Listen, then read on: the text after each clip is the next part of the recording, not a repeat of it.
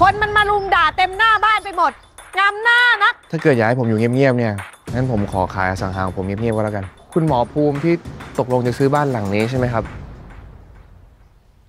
ถ้าเป็นบ้านหลังเนี้ยเฮียขอไม่รับงานแล้วกันนะ ไม่ชอบเจ้าของบ้านปราบผีแบบมึงก็ทำได้เว้ย ไอ้ที่เคยเคยทำมาเนี่ย มันอาจจะไม่ได้ผลเหมือนทุกครั้งก็ได้ อย่ามั่นใจมันมากนะ